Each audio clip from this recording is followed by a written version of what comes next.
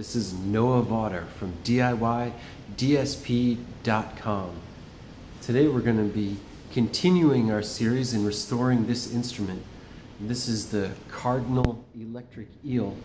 It's a guitar-like instrument that's played like this, and it's got a synthesizer in it, and the synthesizer is powered by a generator. So in our last couple episodes, we were looking at this set of electronics here. This is the synthesizer, and this is the power supply. And we found that one of the chips was burnt out, and we were able to uh, repair that live on YouTube. And we were actually able to make sounds come out of it. So one of the next steps would be to hook up the keyboard here. One of the problems though is that since the instrument was put into storage, I've completely lost track of where the keyboard goes. I've looked through all my things and I haven't been able to find it. So I spent a, an hour or two in Eagle, the circuit board uh, design program, and I designed this. This is a four key keyboard. And these are the keys that I'm going to put into it. These are your standard Cherry MX switches.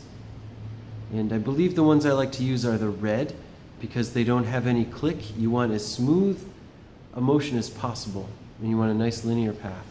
So I believe those are the Cherry MX Reds. And this is just, uh, if you don't know how keyboards are made these days, these are the keycaps. So, uh, the electric, the original keyboard on this instrument had eight keys. And the electric eel keyboard lets you do finger combos, so that four fingers gives you a full octave. This was done because the instrument moves around quite a bit when you play it, so I felt a regular piano keyboard would be a little bit hard to, uh, hard to finger.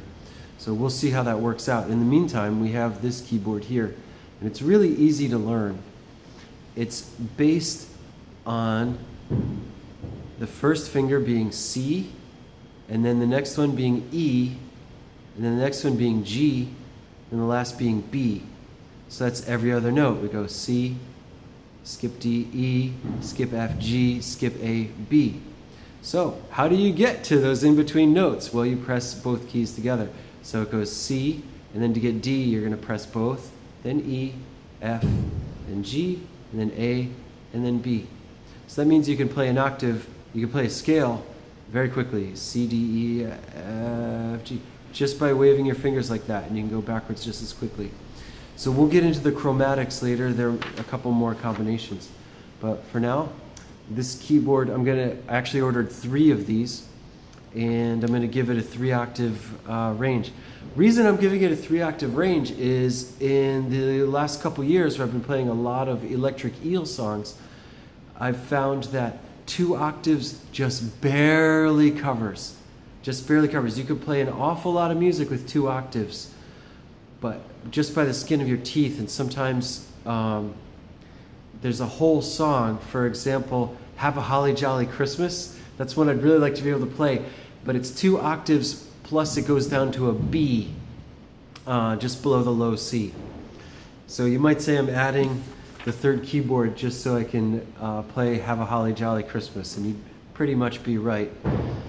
So that that's the bulk of it. I ordered the thing last night. It's going to come in in about a week, and then uh, if you're subscribed, then and if you're notified too, click that notify bell. Then you're going to get a live notification when I go to solder this together. In case you want to see the thrill of soldering things together, see how things are actually made. Um, and then one final thing is I just wanted to tell a, a little story about how these things uh, were designed.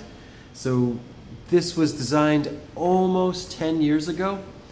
And if you look around these days, uh, there's a lot of people who are making computer keyboards out of, out of keycaps and cherry switches. For example, if you go on the subreddit uh, r slash mechanical keyboards, you will find a, a dedicated scene of obsessed mechanical keyboard fanatics.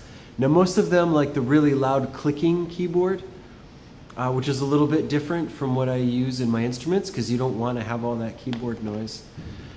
But 10 years ago, these things, it was a little less common and it wasn't exactly well known how to do this. So I actually made those keyboards from some from individual keys that I bought at an auction. So a long time ago at MIT, there was a, a very famous underground guy by the name of Frostbite. And I never met Frostbite myself, but I did stumble on his artworks many times uh, at random surprise places. From what I know, Frostbite was a, very much an individual, and he was very into making LEDs, and uh, had another really a couple of very exciting technical hobbies. So I saw a bunch of his LED light sculptures. Again, this is nowadays you just buy you know your APA 102 lights and use an Arduino library, and everything's taken care of. But he did everything by hand. He even made some four-channel. Um, LED light sculptures, and I believe he actually worked at a company, something Kinetics, that, that really made serious uh, serious business displays for, for billboards and stuff. And uh, unfortunately, he passed away too early, and uh, he left behind an incredible amount of electronics of all types. And so, what his friends did they got together and they had an auction. And I was able to buy a box, a big box this big, and probably had about 500 individual switches in it. And those are the ones I used to make all of the uh, original electric eels. This cardinal eel had one, um, my red one, also that I, that I play a lot in the Christmas videos, was made with those switches. All the workshops I did, everyone who who joined, took a workshop and built a keyboard, was with those and a few more instruments as well. But uh, eventually I ran out of those. So uh, that's why it's now time to um, switch to the Cherry MX switches. And it's kind of funny because at the time I was making those, uh, those keyboards, they were suspended in air by a hunk of wood, and then I hand soldered all the wires. There was actually no circuit board for them. And that worked okay temporarily, but as I began to travel with the red eel back and forth to California, to Colorado, back and forth to Europe, I found that almost every single trip I took, there would be at least one uh, defect that I'd have to fix when I got back. And part of that was because the wires were all dangling in the air.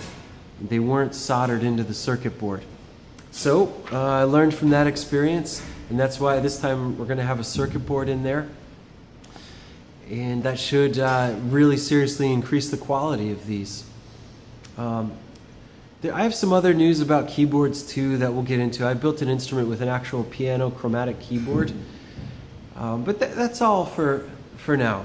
So just hang tight, and I'm gonna um, I'm waiting for those those parts in the circuit board to arrive. And as soon as they do, then I'm gonna make another video.